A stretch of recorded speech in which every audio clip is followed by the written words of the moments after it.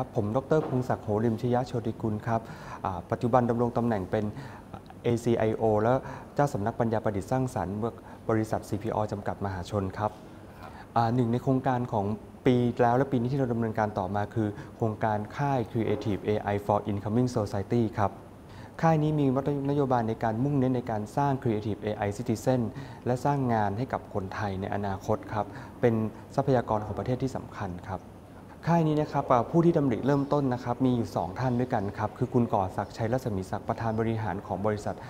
CPO นะครับแล้วก็อีกท่านคือ ดรพินิติรัตนานุกูลนะครับเลขาธิการมูลที่โอลิมปิกแห่งประเทศไทยครับซึ่งทั้งสองท่านเป็นผู้ใหญ่ใจดีที่ต้องการอยากจะให้น้องๆเนี่ยได้มีโอกาสที่จะรู้จัก AI ในการใช้เพื่อสังคมอีกมุมหนึ่งครับ บุคคลที่เข้ามามีส่วนร่วมในค่ายนี้นะครับกลุ่มที่เป้าหมายของเราตอนนี้เป็นกลุ่ม นักเรียนที่เป็นไฮสคูลและจะตามไปด้วยกลุ่มที่เป็นอุอ่าอุดมศึกษาครับแล้วก็ที่สำคัญอีกกลุ่มหนึ่งคือ คุณครูที่จะเป็นคุณครู AI ต่อไปครับ ในเกณฑ์การตัดสินในการคัดกรองเนี่ยเราใช้อยู่หลายมิติด้วยกันหนึ่งในนั้นเรามีปรัชญาอันหนึ่งคือคุณคนที่เข้ามาในค่ายเนี่ยจะต้องมีความเชื่ออันหนึ่งคือการใช้ AI และเทคโนโลยีในเชิงสร้างสรรค์ ให้มนุษย์มีคุณภาพชีวิตที่ดีขึ้น ไม่มาแทนที่คนนะครับแล้วก็มีเรื่องของอีกเกณฑ์หนึงก็คือศักยภาพทางด้านการใช้ AI ของน้องๆและศักยภาพทางด้านภาษานะครับค่ายนี้เริ่มต้นตั้งแต่พฤศจิกาปีที่แล้วนะครับ ก็จริงๆ แล้วต้องเริ่มต้นต้องบอกว่าตั้งแต่มิถุนาปีที่แล้วที่เราไปตามหาน้องๆนะครับแล้วก็จัดค่ายในอ่าพฤศจิกาปีนั้นใน stage หนึ่งครับ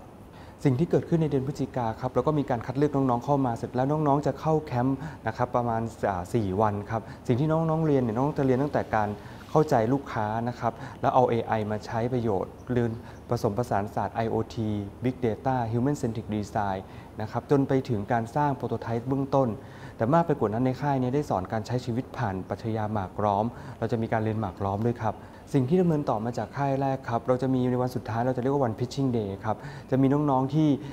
แข่งขันกัน เสร็จแล้วก็จะมีน้องๆ ส่วนหนึ่งที่เดินชนะการแข่งขันนะครับ เดินทางมาที่สิงคโปร์ เดินทางมาที่มหาวิทยาลัยแห่งชาติสิงคโปร์ที่หน่วยงาน Advanced Robotics Center นะครับในการเรียนรู้ในการพัฒนาโปรเจกต์ต่างๆ ของน้องๆเนี่ยให้สามารถ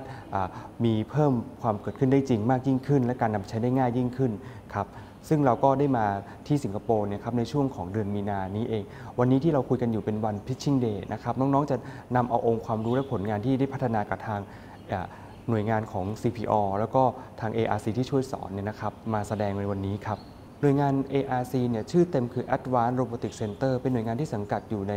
มหาวิทยาลัยแห่งชาติสิงคโปร์ครับเป็นหน่วยงานที่มุ่งเน้นการนำเอาเทคโนโลยีมาผสมผสานกัน หน่วยงานนี้มุ่งเน้นเทคโนโลยีหลักคือการเอาใช้ AI มาผสมผสานกับหุ่นยนต์ จนเกิดสิ่งที่เรียกว่า Intelligent Robot นะครับ AI เป็นสมองหุ่นยนต์เป็น body นะครับ บุคคลที่ให้ความรู้หลักในค่ายนี้นะครับก็จะมีสองท่านด้วยกันนะครับก็จะมี professor Marcelo Ang นะครับแล้วก็ทีมของเขาแล้วก็ทางผมเองที่จะช่วยให้น้องๆ ในการทำให้ project เนี่ยเกิดขึ้นได้จริงนะครับสิ่งที่มุ่งหวังจะให้น้อง ๆ ได้กลับไปก็คือ การที่น้อง ๆ เข้าใจการเอา AI ไปใช้ในเชิงสร้างสรรค์ และบอกต่อกับสังคมส่งต่อโอกาสนี้ให้กับสังคม ไม่ใช่แค่ประเทศไทย แต่เป็น Southeast Asia ในฐานะการเป็นตัวแทนของประเทศไทยครับ สิ่งที่จะเกิดขึ้นถัดไปหลังจากค่ายแรกเสร็จสิ้นนี่ก็จะเกิดขึ้นในช่วงของปลายปีของ 2019 นะครับก็จะเป็นการเรียนการผสมผสานศาสตร์ซึ่งมีความแตกต่างจากค่ายหนึ่งนะครับจะเป็นโน้ตฮาวจากต่างประเทศและโน้ตฮาวในไทยนะครับแล้วที่สำคัญก็จะมีเรื่องโกะเหมือนเดิมนะครับแต่สิ่งที่จะเป็นสิ่งที่น่าสนใจมากกว่านั้น คือจะเป็นเทคโนโลยีใหม่ๆ ที่ไม่ล้าสมัยและไม่ล้ำสมัยในการเบรนเข้าไปนะให้น้องๆ เข้าใจมากยิ่งขึ้นในการเอาเทคโนโลยีมาใช้ช่วยมนุษย์ครับ สิ่งสุดท้ายที่อยากจะฝากกับน้องๆแบบค่ายนี้คือ อยากให้น้องๆบอกต่อและส่งต่อโอกาสนี้ ให้สร้างคนไทยเป็น Creative AI Citizen ให้มากยิ่งขึ้นเพื่อประเทศของเราเนี่ยจะได้มีความแข็งแรงทางด้านเทคโนโลยี ทางด้านเศรษฐกิจนะครับซึ่งน้องๆจะเป็นบุคลากรที่สำคัญในการพัฒนาชาตินะครับและอยากเชิญชวนน้องๆทุกคนครับว่า AI เป็นของที่ไม่ได้ยากนะครับ AI เป็นเทคโนโลยีที่เข้าถึงได้นะครับและเป็นเทคโนโลยีที่มีประโยชน์ต่อประเทศของเราครับขอบคุณครับ